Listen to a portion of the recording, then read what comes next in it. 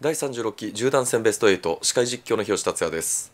解説は白鳥翔が務めます。白鳥さんよろしくお願いしまよろすしくお願いします。対局の準備ができているようです。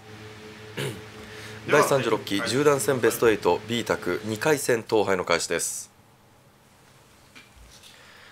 第36期10段戦ベスト8は一発裏ドラのない日本プロ麻雀連盟公式ルールで行われますシステムは半チャン5回戦を行い上位2名が決勝戦に進出となります。2回戦はチーチャから黒沢なんちゃ小松シャーチャ伊藤ペーチャ杉浦の並びトンの一曲ドラはチーソーです。さあ1回戦から大物手が、えー飛び交った、えー立ち上がりとなりました。杉浦が大きな、えートップを取り迎えた2回戦となります。さあ白鳥さん2回戦目以降見どころとしていかがでしょうか？はい。えー、っととりあえずね杉浦さんが先行して、はい。まあいい感じでね上がりうわダブリーだ。あれーイースーマンドライチありますよ。いやこれ黒沢今ねはい。黒沢さんがちょっと最後に宝珠になっちゃって4層に引いてたかもしれないところを、えまさかの羽マン宝珠で終わっちゃってラスになっちゃったわけじゃないですか、ー、はい。だからこのね親番で攻めたいとこですねって言おうとしたら、はい。このダブリーですこの立ち上がり黒沢としてはグッといや僕はここはグッとこらえるべきだと思います、うーん。あ無筋いった。ドラマたぎの無筋ですね一応、うーん。もうそダブルリーチわかんないんだから行っちゃえっていう考えもあるとは思うんですが、まあ僕は見合ってればいいとは思いますけどね。どうでしょうこちらの手配は。うん。微妙なライン、まあ僕は打たないですけど、うん、別に打っても。だけど打たないけどって言っても、うん言っても、何打つんですか？チュン。チュンか、もうめいあおでも引いたよ、ね、これだったらいいピンが今通ったんでいいピン打てますもんね、はいここはいいピン。うん、これで押し返せる形になりましたね。あチュンポンでいいシャンテン取るんじゃないさすがに。ポンした。うん。でこれで9ピン勝負の構えですね、うん。両面両面さあ親の黒沢がいく、すごい一杯引いただけでねぐっと引き締まりましたね。もうとにかくネック中のネックドラのチーソーを引きましたからね、いやーしかし伊藤のつも上がりだ。これ大きいですね。2039ダブリーツモドラ120003900黒沢またしても親で厳しい。あのー有効さんだからっていうのが大きいですよねどういう意味ですか？えだから、はい。あのいくらダブリとはいえええ。優子さんがそこまでこう不安定な形でうん。来るとはあまり思えない、うん。となると。なので、はい。例えばそのチートイツとかだとしても賞賛あるありそうな短期待ちだとか、ええ。そういうことは想像できるんじゃないかと、うんなんか攻めづらいはづらいですけどね、うん。まあでもああいうふうにきっちり両面になってることの方がなんか少ないですからね。そうですよね。うん。さあいきなりの大物手が決まったのは伊藤です。トンの2曲親は小松。ドラはチュンです。あと自分が行かなければ他の人が打ってくれる可能性もありますしね。うん確かに。もちろん親なんで積極的に行ってはい。それが何も悪いわけじゃないんですけど、え今のもね僕だったらああいうの形になってなかったんで、えうん。あいいなと思いましたしね、うんうんうん。ああいうので上がりきれればねそれは大きいですからね。大きいですし、はい。そのなんかもう本当いかにもそのマイナスゲームみたいなうん。曲をプラスにできるうん。力ってやっぱその人の強さだったりジャン力だったりするわけじゃないですか。はい。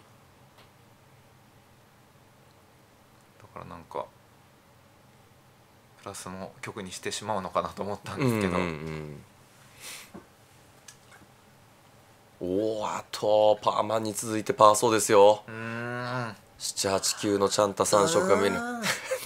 いいつも。誰？いやいや。めっちゃいいつもじゃない？パーソいやナルだってもうめっちゃいいつもだよ。全ての手役が見えはいるつもじゃないですか。これ一通チャンタ三色ほらもうこういうことなんだよこれどこれはどっちですか？嘘来てみて9ピン短期の闇点を取って。からのはい変化ありますからね、ありますよ。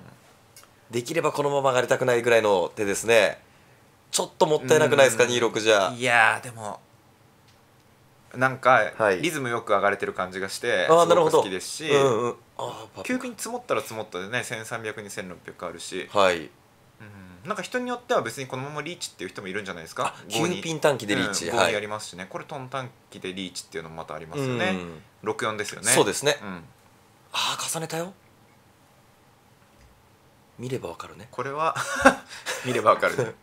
これはねリャンマンスーマンだと思いますね僕は。何か差がありますか？えっとやっぱりカンチャンターツの比ええ。較じゃないですか、リャンマンスーマンかスーピンローピンかの比較なんですけど、ああなるほどね、うん。これは下茶が1打目にリャンマンを打ってるんで、はい。3万の方が若干カンチャンとしてはよしと見て、うん。あのダイレクトなダイレクト、はい。そうです。を選んだんですけどやっぱり形としては24と46だとええ。3ピンツモとチーピンツモで両面になる分、はい、そちらの方がいいですし、うん。なおかつこの形って46678っていう複合形だったんで、はい。例えばドラポンからのはい。6級ピン受けだったりとか、あの結構そのごちゃごちゃしやすいはい。形で、うん、メンツがくっついてるカンチャンターツにメンツがくっついてるっていうのがちょっとこう長所の一つでそうもあなんでよりますすよ。ねただの46じゃなくてさらに形がいいんで、はい、僕だったらそれを換算マンがうん、上回るかなっていう判断をするわけですね。そうです。換算マンがそのダイレクトが上回るかなっていう判断した時に、はい。この馬鏡だと上回ら上回らないんじゃないかなって思うんですよね。ただ杉浦としてはそれを上回ったと思ったわけですよね、はい。さあこれで親の小松にテンパイが入りましたね。ウッパーピン3万。そして伊藤はチュン短期ドラのチュン短期に待ち替えです。うわ。ムスジビシッとムスジビシッといく。うん、例えばこれですよね、はい。この3ピンツモでリャンピンになった方がいいんじゃないか、うんでも実際はやっぱりこういうとこ外さなくて、ええ。換算マンは山に2枚残りでカンウーピンは1枚残りだったんでやっぱりダイレクトと換算マンの方がいいんですよ、はい。結果出したいですねこの選択は。ド出したい出ラドラだけに。もう出したいよ。でも小松さんとて親でリーチを打ってる。そうよ。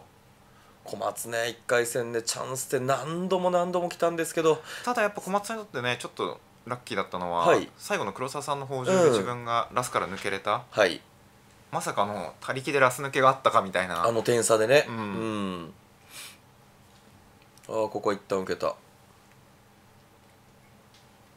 ドラドラですけどちょっと迂回しましたか。有効さんが確実に来てますからね。あそっか。一人じゃないってことね、なるほど。絶対テンパイですもんね有効さんのこの押しは。うん。はい。伊藤もディフェンスが強い選手ですからね。こういう押しはかなり信頼できそうな押しではあります。待ちの枚数的にはこの小松が圧倒していますが伊藤は打点力がある。うそど真ん中。怖いとこ。いくと思います。ビシッビシビシいきます。ビシビシと音がますね聞こえてくるかなはい。小松も怖いぞ。やべえなと。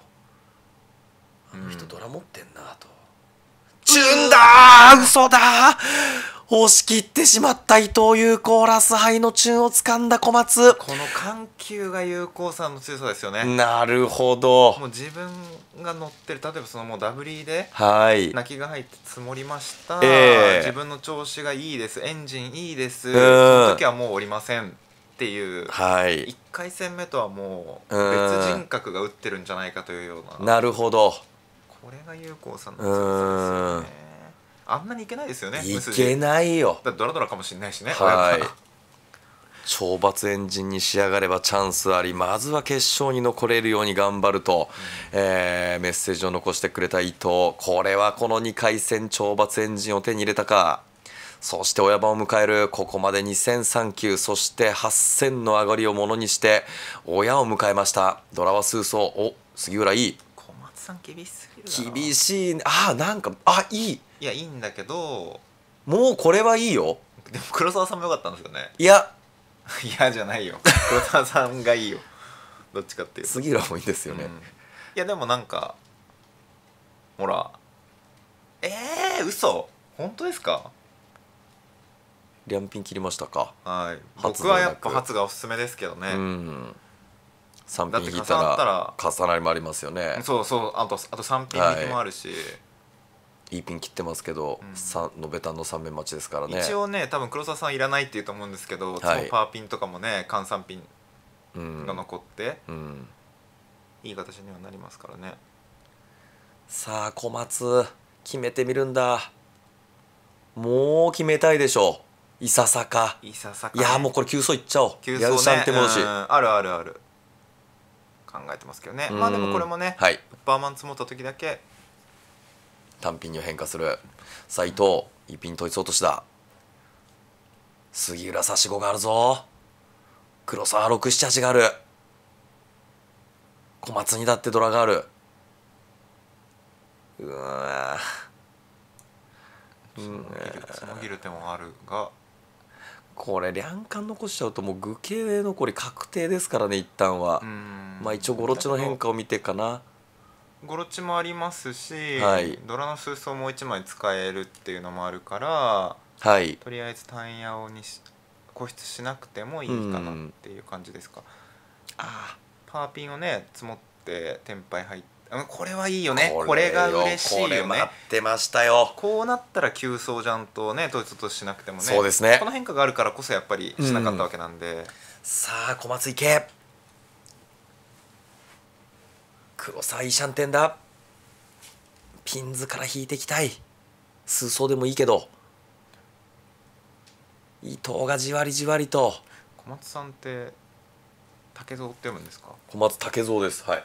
うん。武蔵と書いて小松竹蔵なんですよ。すげえ名前だな。白鳥さんは翔と書いて何て読むんですか？そう いやうんうん。えうん。伊藤ドラが振り返りました。そうねもう一回後で聞きますから。考えとけ宿題じゴロチもありますからね。いやこのじっくり手進めてくる感じが有効さんっぽいですよね。こう9 E ピン統一落とし9万統一落としで。これもう一回9万とかあるのかな？あーここはトンかうんさすがにここは手広さでねチーマン引きウーマン引きも OK なんで、はい。さあ杉浦広くなった。断然広くなったただ欲しいのは差し子だぞ。小松よ。そして有効さんよ。くわ全員シャンテンだよ。全員シャンテン。これが一番見てて楽しいやつつもぎってあっさりスッとつもぎる。いやー誰が最初に天パにたどり着くか。何をやっている。伊藤が来るぞ。数ピン切ってますが。ここは9万、えーなるほどマンズが安すぎる。うーん。うわーなんだなんだなんだなんだ。みんないい形なのに。天敗しない。恐ろしい。振り点。振り点だ。取って闇点かな。取って闇点でいつでも引きますかこれうんは多分引くと思いますね。いきた！杉浦だ。伊藤に続いて杉浦が天敗しかし伊藤は振り点。黒沢だって引ける形じゃない。きた！あお闇点現物待ち。なるほど。場にやすいこれは当たり牌吸収して急走。伊藤はどうする？振り点だ。ペイは？切った。黒沢リーチはないのか。現物さらに闇点小松はゴロチが崩れた。もう順目も深いドラこれはこれですね。これでストップになるか。3ピン切って1回粘る。リャンマンで粘るもあります？うリャンマンで粘るもありますね。ーん3ピンの方ですか。うーんあるね。さあこれで転敗してるのは杉浦と黒沢。チーマンうわいわゆる。あいやこれ筋だ。数万取ってる。リャンマンは絶対当たらないわけじゃないですもんね。うんそうですね。でも3ピンも絶対じゃなくないですか？うんだけどあの筋で、はい。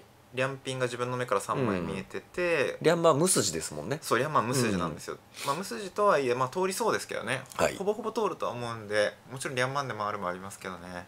いや黒沢これで考えるってことはやっぱうわ受けたわ。あ。よっぽどちょっと調子悪いって感じてるのかな。それもあるかもしれないですけど。よく小松パーソー切んなかったね全順。言いそうにして、まあ黒沢さんがちょっと雰囲気出てたっていうのもあるかもしれないですしね今のパーソ打ってもおかしくなかったですけどね、はい。ああこれリャンピンで宝珠だ。本当だ。うん。まだ行くもんこの親は。タンヤオイペイコドラドラですもんね、ウーピンじゃなくてよかったぐらいですね。うん、てかまあ2600かって感じですよね。はい。リーチドラ12600の上がりとなりました。杉浦ですいやーこの曲は全員にチャンス。いやー小松としてはちょっとまたダメだったかという表情に見える。いやーまだまだこれからだぞ。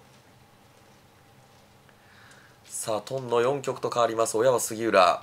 1回戦に続き伊藤杉浦の両名が場を引っ張っていく展開です。面白いですね。今の曲も。ちょっと一貫はい。なんとなく、その杉浦さんの手はリャンピンが2枚場に切られてたんで、ええ高めで3色ドライチじゃないですか、はい。ウーピンで。はい。だから順目も深いし、え闇点もあるのかなっうん。て思ったんですよ、リャンピンは上がれないんですけど、ええ。ウーピンがね？ね？リャンピンは上がれないんですけどお願いしまウーすピンがね出上がり5200なんで、はい。リーチ打たないっていうのもね、はい。ウーピン引き上がった時は2003級か2004戦かの差なんでえ闇点もあるのかなと思ったんですけど、はい。闇点にしてると小松さんがウーピンスッとつもぎってえうん豊穣になってると思うんで。そうでしたね。うん。一発目でウーピンでしたもんね。そうそうん。そして見てくださいよ伊藤の手ドラさしかも両面3つよ。これ仕掛けたらもしかしたら逮捕なのか？どんう仕掛けないかな？しこれチーテンはあどうですか？チーテンはどうですか？僕はもう最近取るんです、おおはい。昔は取んなかったんですけど僕は取るように。でまあバレるじゃないですかまあ、ね、まあなんていうのかな、うん。あのバレやすい。何らかがあるっていうのはバレるわけじゃないですか、でもまあ両面待ちでこの順目だったら積もることだって当然あるわけで、うん。全員が受け切れるわけじゃ関係ない関係なかった。ごめん全然関係ない。いつまでベラベラ喋ってんだよ俺は。エンジンがすごいよ。懲罰が過ぎる。でも勘介パーピン処理してるからね。そうね。すごいね。逆に危ないか？これ両面変わると危ないね。くもうだってか。4巡目で処理って。処理能力の速さね、うん4巡目で、うん。わー初ドラさんもうこれ上がり。うー違う違う違う違う違う。パーピンに見えたよね。見えた。わかるわかる。うん。そういう時あるよね。でもさもう上がりが約束されたようなウッパーピンじゃない？そうですよ。小山これまた黒さ怖いんだよな。だからねゆうこさんね知ってんですよ。知今みってる？はい。今みたいな時にあ関山像でスッとテンペ入ったじゃないですか、はい。あそこで降りなかったじゃないですか、はい。あれで打って26で、ええ。あ全然やっぱ26ぐらいで大したことないんだなみたいなはいはいはいだから多分エンジン継続なんだなみたいな、うん。いけるぞと。あそうですそうです、長年のもう経験。うん。でその経験値が違うんで、はいそういうところで打ってるんですよね。確りかにこの連盟のいわゆるレジェンドクラスはその辺の厚みが違いますよね。もうミルフィーユの何層にもなってるからね。やっぱり。あ乗ってしまった宝珠のレールにこの瞬間積もってくれたがまだましうわ積もってもらえない。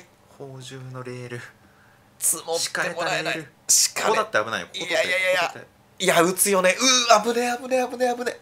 ローピン熱いとかじゃないからねそう。もうね。ピンがもここで引いてもらえダメだ黒沢大ピンチ。うカンスケのパーピンいたら危ない。危ない。うわー黒沢。もうパーピン以上の危険な余剰杯を持ってくるしかない。いやこうわーまたチーマンだ。マジ？まだパーピンの方が安全ってことじゃないですか。もういいシャンテンですもんね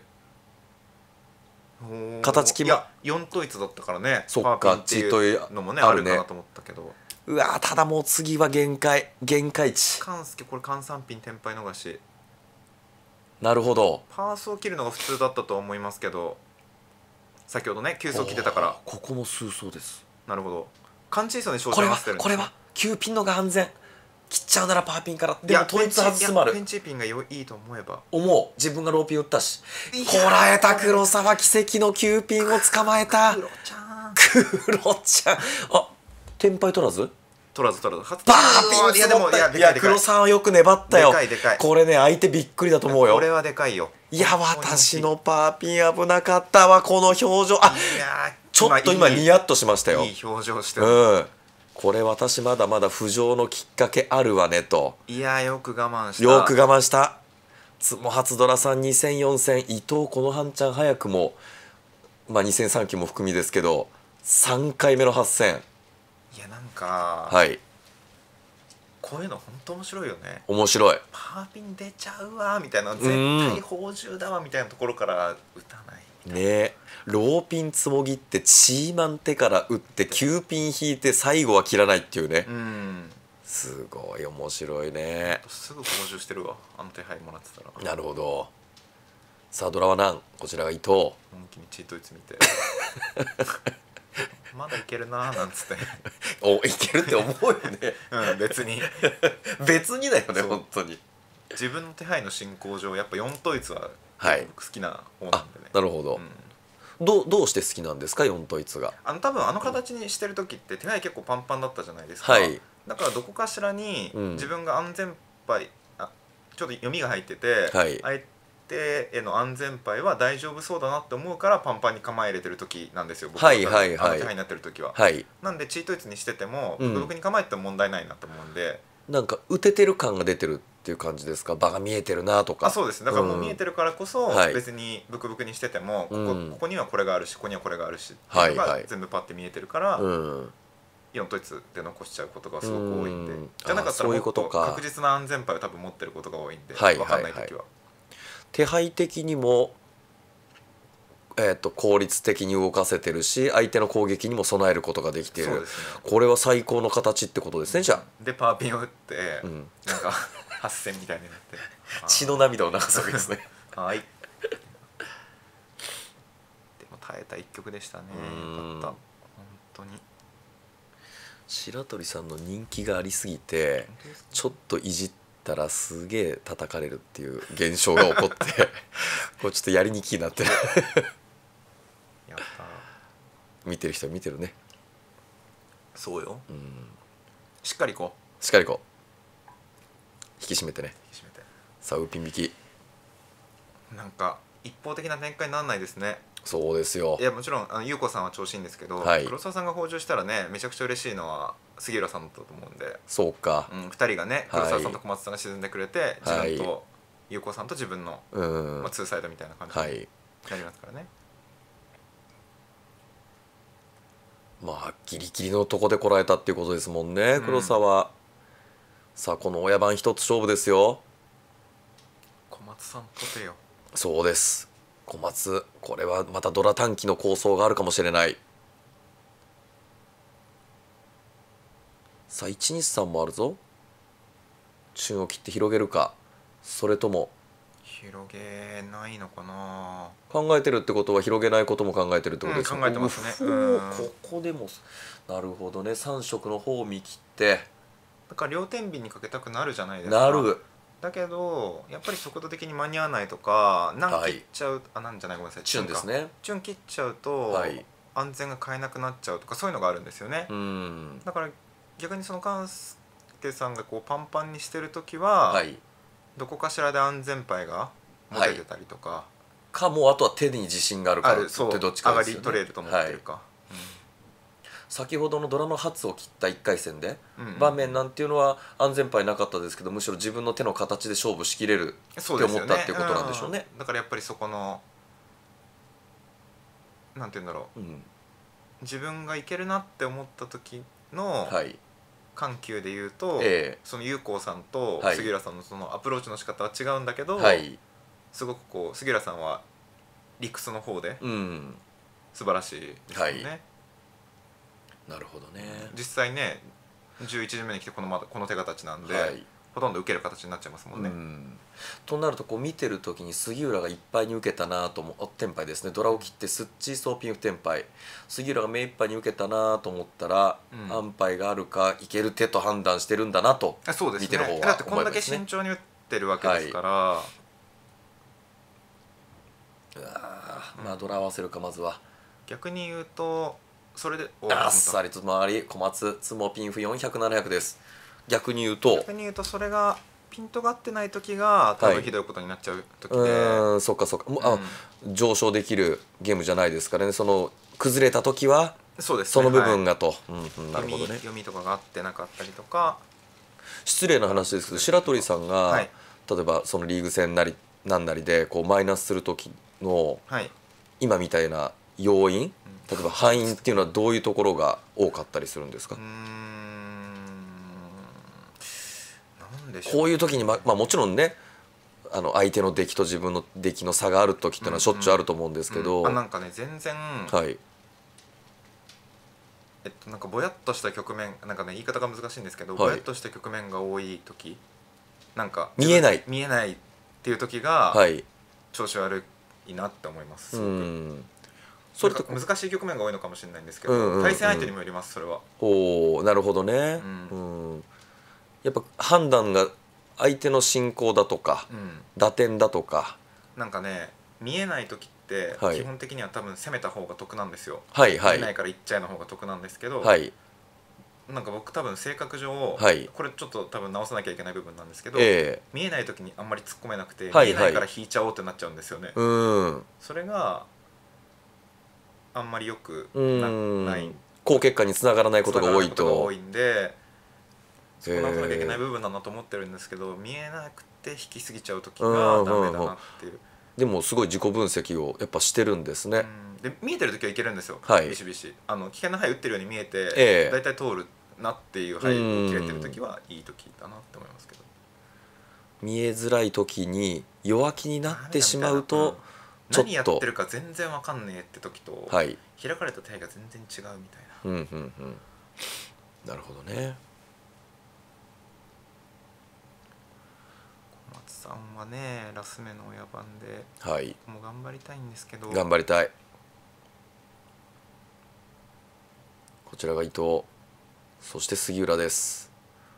ドラは綺麗に収まっている。親番がなくなった黒沢まず第一の目標減点復帰ということになりますか？黒沢は。うーん減点復帰したいですね。最短三局でも。したいですよね。うん。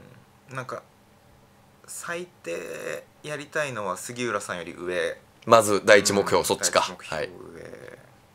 黒沢これは2枚目の発を仕掛けていきます。いいシャンテンです。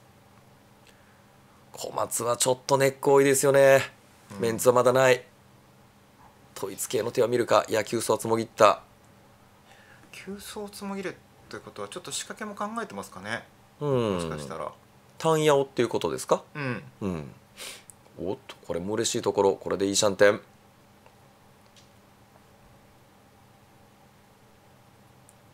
上茶に合わせて急走打ったのかな？あ合わせてっていうのは、はい。上茶の黒沢さんが仕掛けたから、はい。ある程度泣くこともできるんじゃないかって思って。はいが降りてくるって意味ですか、はい。はいはい。急走打ったかもしれないですね。おお重ねたよ。うまいですよね。これ急走打ってて単ヤオ方向に行こうと思ってたんだったら、はい。この一つ狙い通り。はすごい嬉しいうですよん。ね仕掛けていけるし。全部泣いてもいいぐらいだと思いますね。ほう。ウッパーマンからチー入ってもいいと思います。あ本当ですか？僕は。両面チーですごい怖いじゃないですか相手にもプレッシャーがかかるチーそうですねはい。んで時間稼いであーこれはちょっういやでも急走急走か。打っといて、リャンピンが出たらポンとか、うん。スーピンが出たらチーとかそれもありますけど。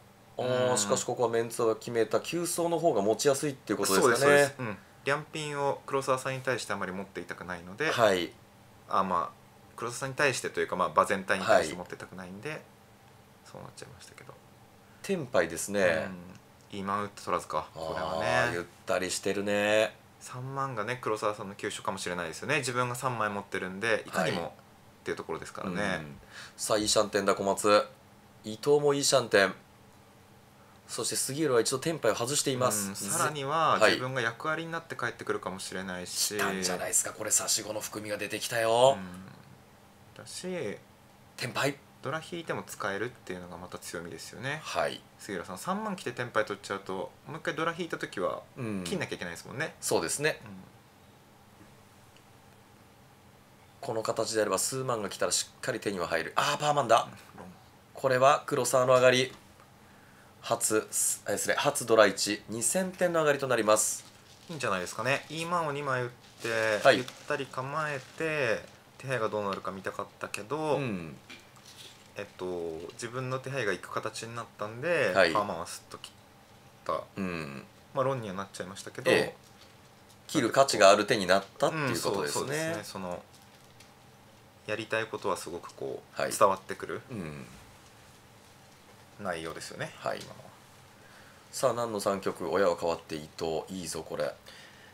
なんか結構不思議に思う人もいると思うんですよ今のって今を打って言ったりリャンシャンテに構えたのに、はい。今の当たり早はピッて北上しちゃうんだみたいな、うんだけど一打一打ごとに状況が変わっててはい。それを精査してうん。打った方がいいと思ったんで、さっき行かなかったから今行かないっていうのがいいってわけじゃないですもんね。そうなんですよ。手配の価値がね格段に上がったんで、今次はもう攻めにシフトしたって感じですね、一杯切れるだけで全然違いますからね。違うのよ、はい。それがまた違うのよ。麻雀だから難しいのよ変わるじゃん戦況が。いや人も変わりますよ。人。麻雀だけじゃない。人生単位の話。ただ黒沢としてあのパあのなんだろう初ドラさんのパーピンこらえ切って、うんうん。親も流れちゃいましたけど、うん。今の2000点で杉浦捉えて、うん。なんかまだやれそうですよね全や然はい。浮く浮きまでありますもんね別に。はい逆にこれをまた再逆転されて杉浦に浮かれるような展開は厳しいですからね。それだけはなんとか避けてこの 2, 2回戦終わらせたい。小松には初が統一。しかしこれはこれは皮肉にも黒沢ともちもち。きついだし。しかもしごろのいいシャンテンだぞ伊藤。いや。杉浦もいいとこ引いた。こちらもいいシャンテン。これ789にはなりづらいけど、はいいつもパーマンってきた時にウーマンローマンって切ると3色には一応なりましたよね。そうですね。なんですけどそっちは見ずに難が重なる方を見たってことですよね、うんうんうん。なんちゃですし。確かに杉浦の麻雀こう見てて安定してるというか安心感がなんか持てますね、うん、うん。これは伊藤がチャンスだぞここでの追加点はあまりにも大きいぞ。闇点きそうですね。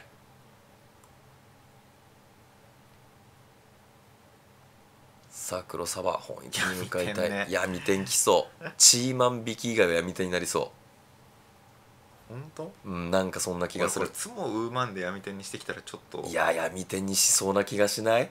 本当？うん。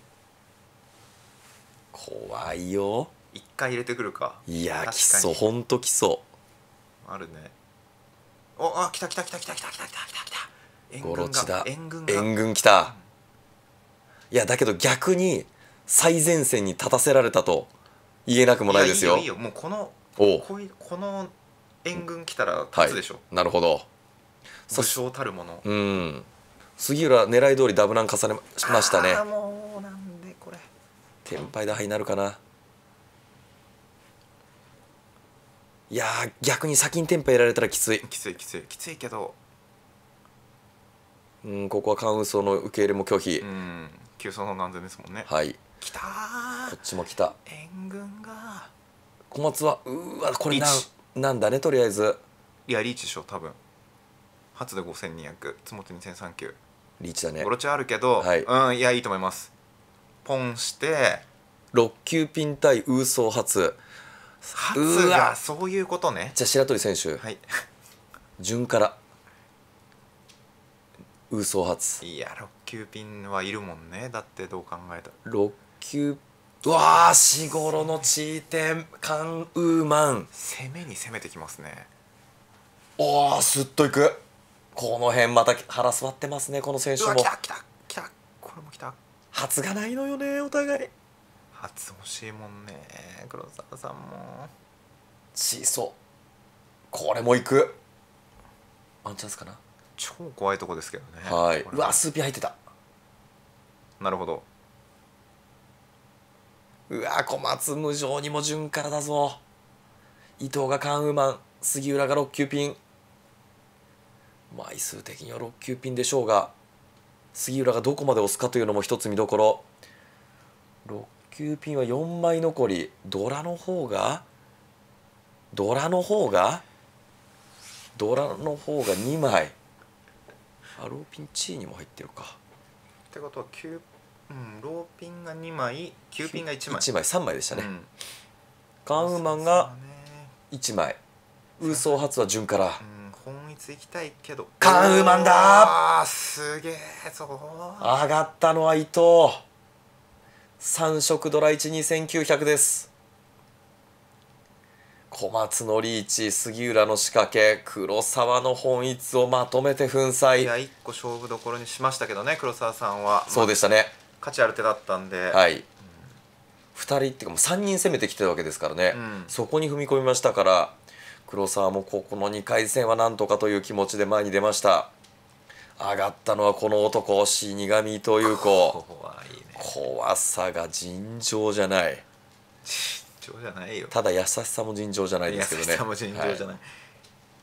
またいい。めい、やめちゃくちゃいいよ。ちゃくちゃい三いよ。面ちゃんジャントある一メンツある。これが杉浦。メンツなし。何もかもある。おー黒沢一メンツいやこれは勝負あったか。一周見ただけでこの差。いやこの差よ。これくっつなんだこれ。だから分かります？この緩急。あの地位点でね。はい。ね。しばしもう無筋を日給で切りまくるカンちゃんで、はい。切りまくった末たどり着いたのがこれ。たどり着いたのはこのヘブンよ。このこのサンクチュアリにね。たどり着いちゃったわけだ。どんだけいけるかっていうふうに多分捉えてるんでしょうね。うん。じゃあ攻めてきますねここはぐんぐん。いや全いやもう攻めに攻めますよこの手配だったら。い怖いね伊藤の攻めは怖いぞ。やまたなんか、はい。精度が高いじゃないですか。うん。おとなしくしてる時とね、はい。その攻めに転じた時やっぱり上がるんで、うん。それがすごいんですよね。この一度捕まえた波はうん。どこまでも自分のところから離さない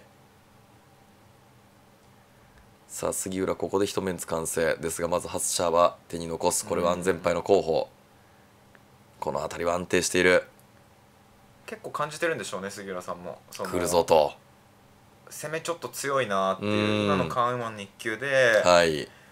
小松さんのリーチと自分のダブナンポンのはい。全部いってるうん。ところに対して、あ押してくるんだなと、うん、うんこれ今有効さん来ちゃう時間帯だなと、うんそうそうそうそう。用意しとかないとと。そうそういう意味でも相手に制限与えられますからね。今のプレーは。ほう。なるそほど、ね、のその先でも変えるんですよ。ああどういう入り目？どういう入り目？入り目のエグさと厚みね。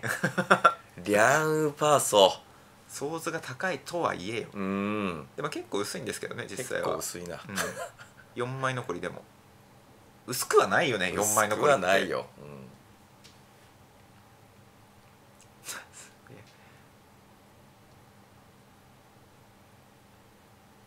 対抗できそう。まあもう杉浦準備始めてましたからね。黒沢お天杯四五郎の変化がある。いや勝負しよいやこれ両層がさいや3層2枚切れだから両層うわーこらえたね。ういや黒沢今日結構緩急つけますね。はっきりしてますね割合、うんうんうん引く時バッと引いてうん踏み込む時、さっきのウーマンみたいにギュッと踏み込む、うん。ここは引きを選択ドラ。うんこれでちょっと全員が戦えまあただ杉浦チートイツの可能性もあるけどウーソアンコかいや多分打たないと思いますけどね、うんまあそうですね。うん。またあの黒沢さんが下行って自分が2着目になったんで、はい。とりあえずこの親には逆らわないんじゃないかな。うん。まあ優子さん積もるなら積もってと。うん、その手配？いやはい。あそうそう。ここういう風になれば。なればね。でもまだ現状勝ちないんで、うん。例えばですけどつもチーソーで、はい。シャーとウーマンのつもり3個になってリーチいくかどうか微妙なぐらいうん。だと思います、なんか行かない気さえしますもんね。うんうんうん。うん行かないもあるよね、うん。でも1個あんこになって、はい。3あんこになれば、ええ。その後ね数あんこ変化とかもあるんで、はい。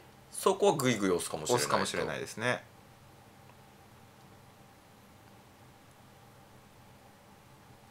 あ数何個いっちゃってんだ。ん？パーソーシャー9万えってかパーソーがパーソー1吸収してとかありもありますあるね。ウーマンがない。シャー1シャーとパーソーが11あるね。あるね。パーソー引いたらほんと面白いな。逆にシャー引いてパーソーの引き合いみたいな。あーそれもいいいやいやどうなる？リャンパーソはウーソーゼロパあリャンソーがここにまたさらに1枚。残り1枚2枚。リャンソーパーソーと1枚ずつです。でもなんかねやっぱこの杉浦さんのこの手もはい。結局最初に安全牌貯めつつ言ってたからこそこの手配に本当だよね。いけるわけなんですよ。無駄な無筋を持ってなかったんで、はい。だって手はどんどん進むのに、うん。切ってく牌は安全な牌ばっかだったんですよ。だから、はいよくその流局までの転敗率は、うん。いっぱいパンパンにしといた方がいいに決まってるでしょって言われることがあるんですけあどそうなんですね。そはい。んなこともなくて、うん。実際はしっかり打ってる方がうん。危険牌切らなくていいから、うん。転敗率ね高いんじゃないのかなって思っちゃうんですよね。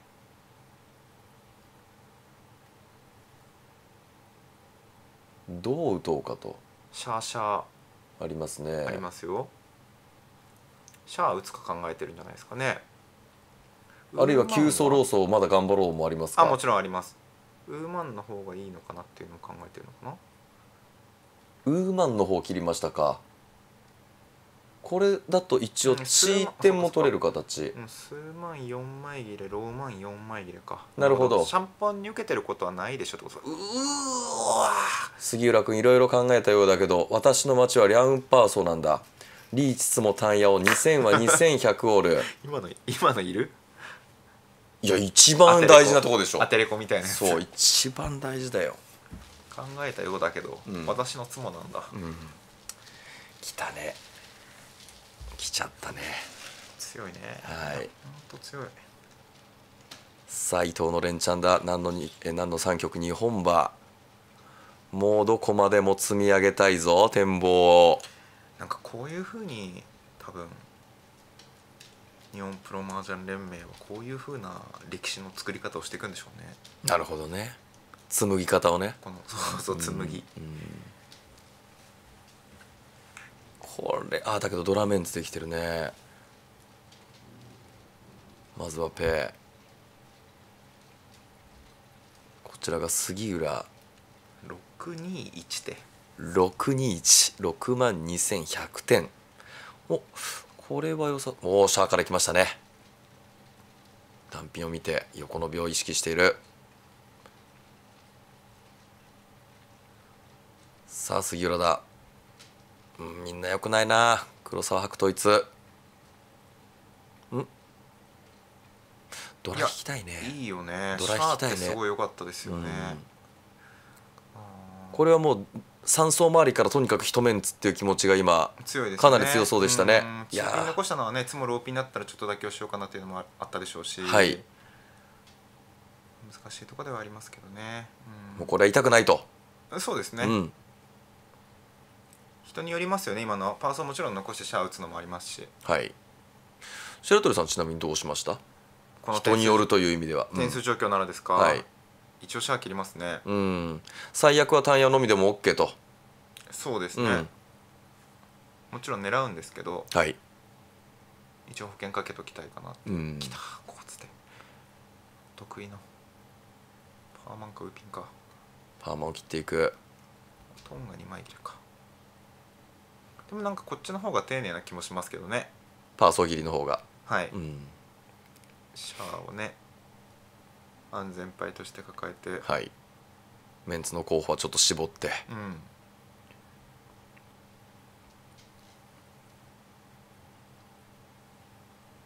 きたあーた来た来た来たこれで決まったぞ形が。あとはドラを引けるかどうか。リャンウーソーはウーソーがない。ウーソーはいい。うんどうでもいいよね嘘。今はウーソーの話はうーやばいよ。白は手に1枚あんこ魔人だよね黒沢さんって。あんこ姫？あんこちゃん。数万も1枚ある。さあただ小松も勝負手よ。うわ差し子だ。なるほど。これであればウーソーでも OK よオッとケー。数万引きだとね、はい。あの高め3色安めドラみたいな感じになりますからね。最高のリーチだね。うん最高のリーチさあ小松。違う。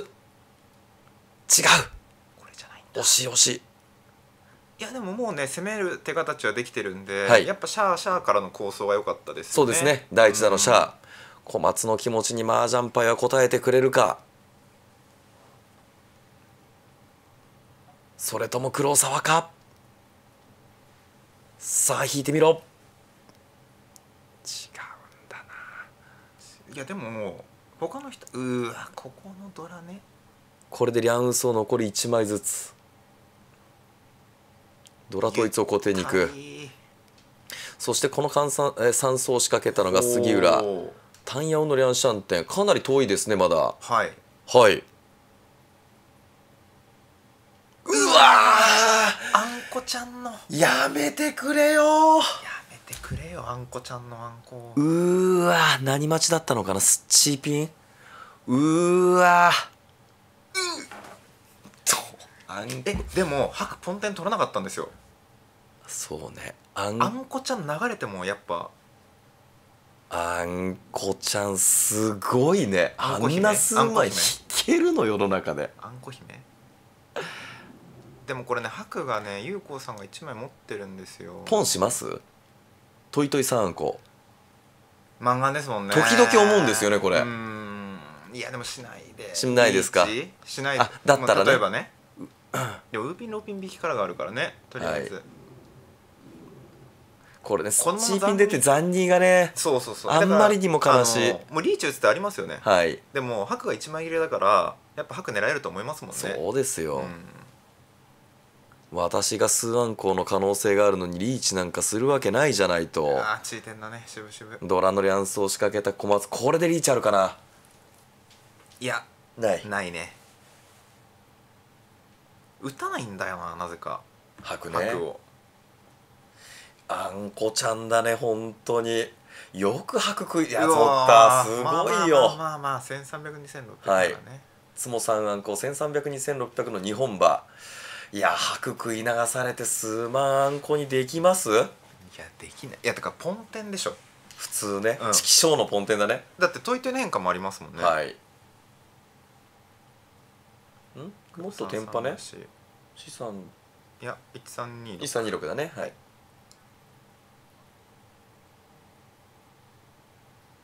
うん。点数何点渡したか分からなくなったあー多分とかそうそういうパターンかな、さあこれでオーラスになります。黒沢今ので浮いたかな？原点超えてる可能性ありますよね。ちょっと足りないか136でしなょいや全然全然超えてる？全然足りてない。照れてねうん。でもあの杉浦さんより上に行ったんで。いってますね。だいぶいってますよ。さあ何の4曲？ドラは E ピン。黒沢受けなくともこの順位の並びだけは崩したくないぞ。さあ一メンツだ。親の杉浦黒沢さんがは急走。またどうするかですね。そうです。手配にももちろんよりますけど浮き狙いに行って一気に杉浦さんとのはい。差を順位点も込みで引きあ縮めるか。縮めに行くのかそれともまあこの並びのままよしで2着のまま上がるっていうのもありますし。もちろん手配によるところが大きいというお話。さあその手配をご覧になこちら杉浦です。次に移る黒沢いかがでしょうか？ドラ E ピンどうなんだろう。狙えるは微妙本当これ微妙なラインですよね。うん。3球欲しいわけですね。うん、リーチピンフドライチとかリーチタンヤオピンフとか。う、ん、そうですね。差しゴム見えますしうん。ドラも一応現状使える形なんで、はい。まあちょっと手なりで進めて見えなくなさそうですもんね。そうなんですよね。さあペンサマンが入った伊藤。ただ厄介なのはこれ杉浦さん親番なんで、えそこに連チャンえされちゃう、あまり時間かけるのも怖いっていうことですよね。怖いですね。うん。ドライピンうわむずっ。9万まあここはね。小松はもうこれはうん国士模様ですね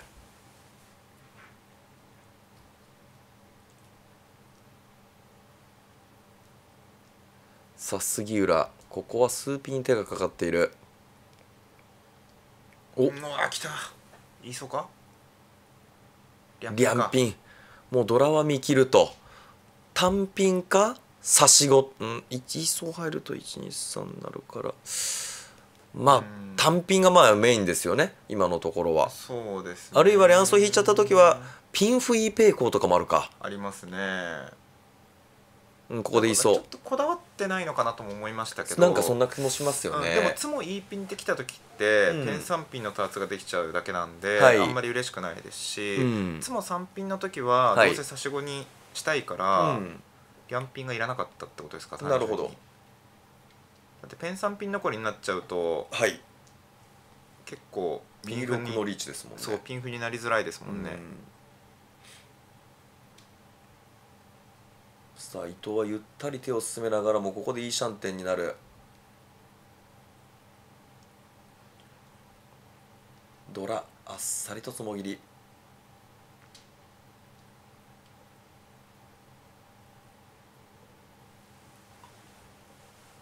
さあ小松これでジャントができて3シャンテン。こちらにもドラだ。安牌候補と、まあ、杉浦に対しての安牌候補として残しつつ自身の手は広がる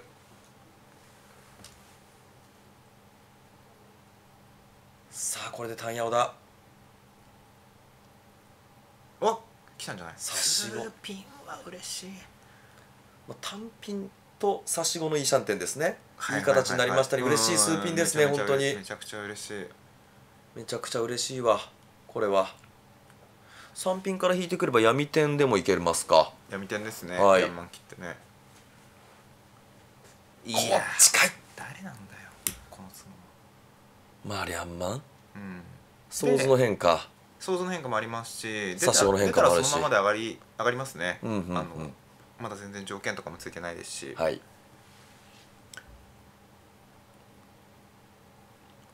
チーマンとローソーのシャンポン待ちです、うん、メンタンピンイーペイコーとかもありますもんありますね。むしろ持ち装引きがいい気がする。リャンパーソーで。あああー出ます。なうほほうほおいほほおいこれが出ないことがどうなるかだよいねやいやむしろ黒沢さんにとっては好材料かも。はい。変化のチャンスが増えたと言える。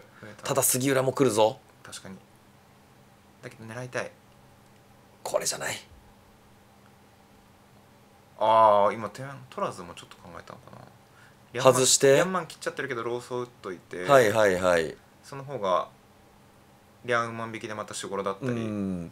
そのリャンウーマンがちょっと出過ぎてましたかね。黒沢の目から4枚見えてますもんそうですね。うわー変化しない。あー小松まだまだ。うんうんしっかり当たりり牌は打たない、